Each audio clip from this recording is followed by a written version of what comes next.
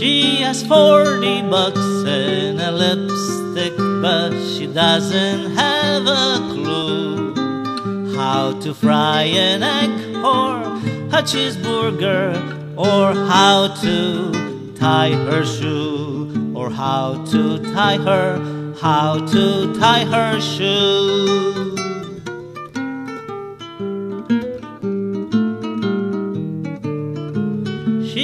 Thrives on endless company, loves her wine and beer and booze. But don't you ask her to make a bed, write a note or read the news. To make a bed, write a note or read the news.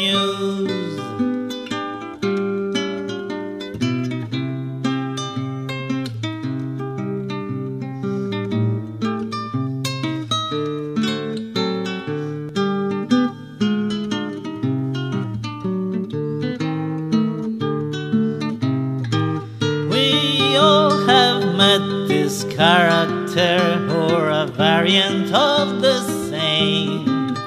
Yet we have no idea why we love and accept her without the slightest blame. Without the slightest, without the slightest blame.